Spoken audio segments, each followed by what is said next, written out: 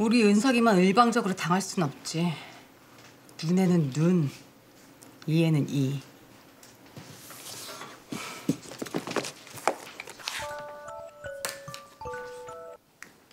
어, 네, 고모님. 안 그래도 전화 드리려고 했는데. 잘 됐구나. 너 당장 우리 회사 앞 식당에 가서 할 일이 하나 있어. 네, 뭐든 시키시면 하겠습니다.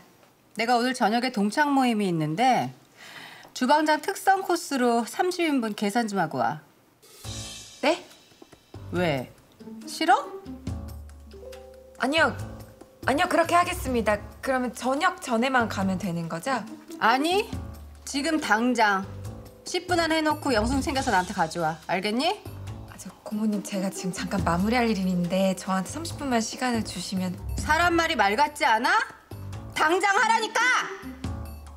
네, 그렇게 하겠습니다. 네.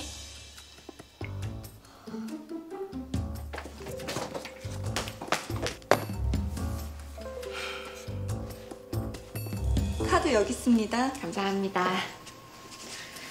저녁 약속이신데 뭐가 그렇게 급하시다고. 아니, 화는 또 왜 그렇게 나신 거지?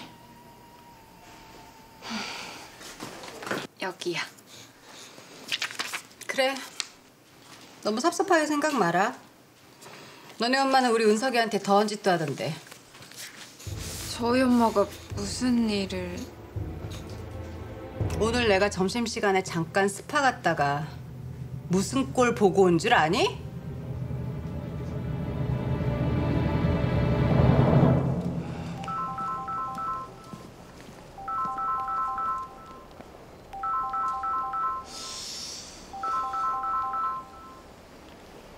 네. 어디에요?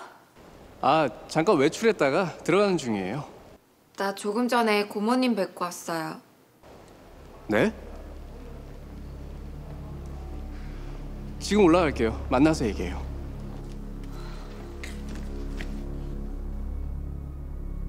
이런 식으로 오은석이 계속 추적해 온다면 그 끝에 대표님과 대표님 오라버니가 있다는 게 밝혀지는 것도 시간 문제입니다. 오은석인 두 손 두 발 다 들게 해서 이 집에서 쫓아내버리고 암만슬한 놈 살아남은 거 봐라. 보통 독종이 아니다.